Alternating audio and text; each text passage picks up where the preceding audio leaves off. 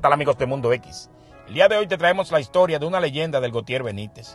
Antes de Negri, el jefe de jefes, y de todos los grandes capos que han pasado por Caguas, en el Gautier Benítez existió Junior Camacho, alias el gringo, el papá de los pollitos. Y por mi pensar y por mi manera de actuar, todo lo que quería yo mismo lo tenía que alcanzar y fui escalando. Y esto más me estaba gustando,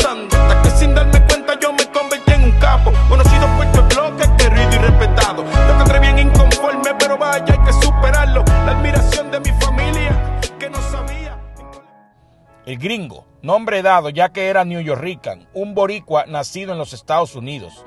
Junior Camacho, el gringo, tenía el punto del oro en Gautier Benítez, una mina literalmente, ya que era el punto más famoso y el de William Barraca de ese tiempo. Y ese punto le generaba miles de dólares. Había muchos jodedores, pero Junior era el querendón del caserío. El gringo tenía un carisma y un aura de paz en el que todos terminábamos queriéndolo muy rápido. De tan humilde que era, él parecía una especie de Santa Claus o Robin Hood boricua. Muchas veces vi que le pedían dinero para pamper o gas o compra de gasolina y él sin reparo les daba. Era muy diferente a todo lo que hay ahora. Era el duro en las motoras, era loco con las rectas para darle hasta abajo a las motoras y huileaba hasta bajando yardas. Y era un hombre que amaba a su familia, sus padres y su hija. Siempre decía, ya mismo me retiro cada vez que se compraba algo. Tenía un Bigfoot, un Porsche 911 Carrera color champán y un RX7. También un Mercedes verde. Una casa y un apartamento en Miami y no tenía ni 25 años ni siquiera. Se rodeaba con todos los del momento, con Cano Estremadera, el pequeño Yanni Charlie Sepúlveda, la Sonora Ponceña, el gringo era otra cosa. En la canción del toro hasta el Cano lo menciona. Gózalo Junior Camacho, el pulpo. El que sabe, sabe por qué lo del pulpo. Junior era el del flow. Con las gafas ray y engabanao estaba a otro nivel. Estaba tan conectado que un día un vecino lo detuvo y le dijo, Junior, me robaron el carro.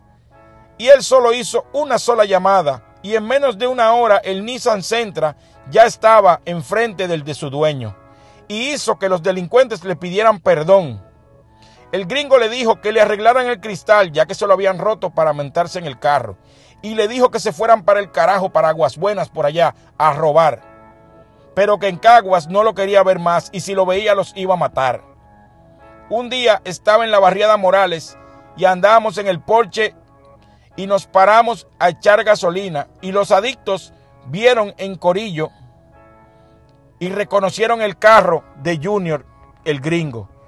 Y vinieron como 10 hoy a decirle, Junior, resuélveme que estoy atrás. Junior, ayúdame. En vez de ahuyentarlos como haría cualquiera, sacó una paca de dólares y les resolvió a todos. Así era Junior con un gran corazón. Hasta andaba con un paquete de comida de perro en el porche.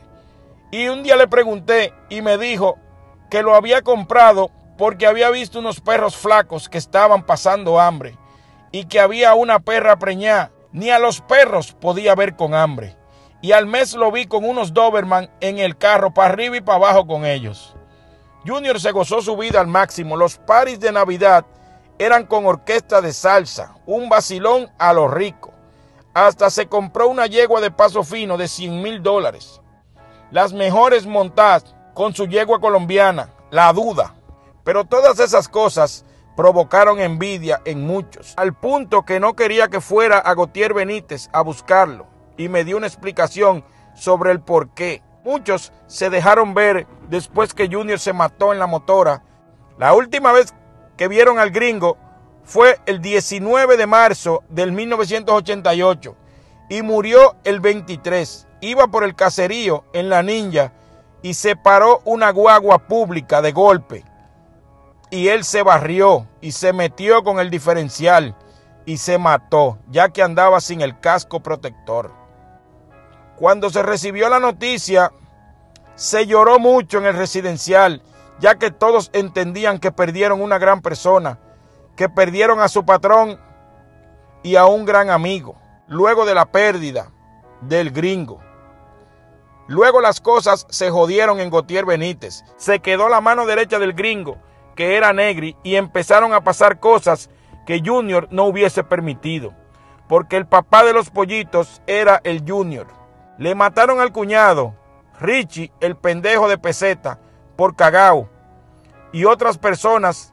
En sus últimos días, Junior estaba visitando la iglesia y dijo que le quería comprar una casa a su familia y a su mamá para él retirarse, ya que Junior no tenía hermanos. Estaba tratando también de comprar un McDonald's para dejárselo a la familia. En su muerte muchos se pusieron bien, ya que Junior tenía muchas cosas a nombre de otros, por si acaso los feos le caían, no le quitaran las cosas. Y muchos se quedaron callados y se quedaron con dinero y propiedades que no le entregaron a su familia. Luego vino la era del Negri y de Javier el Fraco. Pero ya no era lo mismo. Su familia y sus amigos siempre te recordaremos, Junior Camacho, el gringo, el papá de los pollitos. Esto es Mundo X. Si te gustó el video, no olvides darle like, compartirlo y suscribirte. Este tema está dedicado para tantas personas confinadas que hay. Tantos dominicanos, boricuas, que están vivos, pero no estarán mal con sus seres queridos. Viví por mi pensar y por mi manera de actuar. Todo lo que quería yo mismo lo tenía que alcanzar y fui escalando.